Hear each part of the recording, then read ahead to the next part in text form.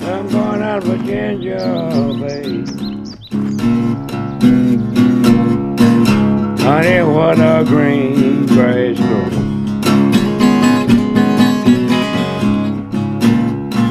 Say I'm going out of Virginia, baby.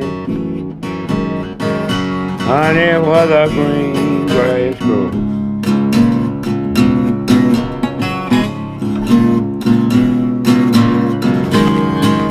Tell you, darling, oh girl, I don't want you to go. I made my first guitar, and I made it out of a cigar box.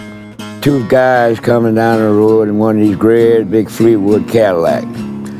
And so they threw this uh, gadget out over in the ditch. And so I said, what was that they threw it out? So I went and looked over in the ditch to see what it was. And it was a cigar box. I snatched the board off the picket fence and come back and made me a keyboard and put it on the cigar box. Then I didn't have no strings. I didn't have money to buy, buy strings to put on the guitar. So I go out there and pull a strand of hair out of the horse's tail and put on the cigar box and made the sound. I used to be down, oh, but I ain't down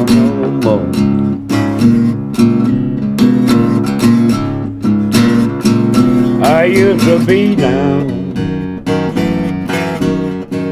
Whoa, but I ain't down no more.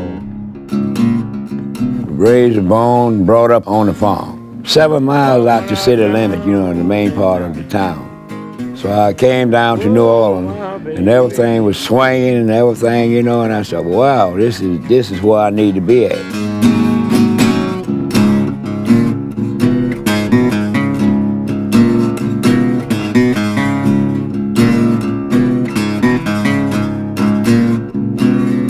You have to have the blues and experience the blues. If I didn't have the blues now, I couldn't play the blues. That's the way I felt. It just in me, you know. I just felt the music in me. So I had the blues in. I was born in the blues, lived it with the blues, worked with the blues, and they much had the blues all in my shoes. You got to press this string and make that string ring and, and bellow out the same sound that you hear in your head. Oh, baby, please don't go.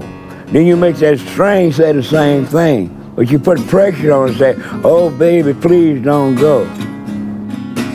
But once you play it and get it off of your chest, then it's just like taking a great dose of doctor medicine and make you feel good behind it. I used to be down, oh, but ain't down no more.